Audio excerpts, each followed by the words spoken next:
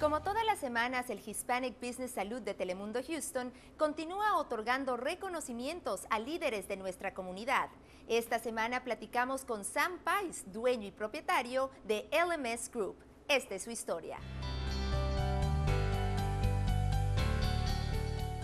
Empresario Samuel Pais es uno de seis hermanos, de descendencia mexicana, y aunque nunca terminó el colegio, él atribuye gran parte de su éxito a la enseñanza que recibió de niño. De niño tuve una buena vida por mi madre, que era de México, cultura mexicana.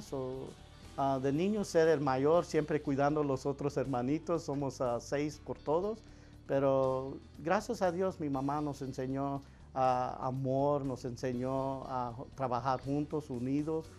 también mi abuela también tuvo mucha parte de mi niñez para la escuela y todo lo que estábamos haciendo. LMS Group es una compañía que comenzó en 1992 haciendo diferentes cosas para la, comunidad hispana, seguranzas de carro, de casa, o de vida y también a impuestos federales que mucha gente no comprende cómo, las, ah, cómo los impuestos federales trabajan aquí en Estados Unidos.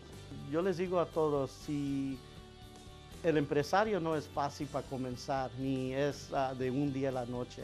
Ah, yo tengo 30 años trabajando en LMS Group y muchos fracasos en ese camino, pero como mi abuelita, mi mamá siempre decían, hay que salir por vencido.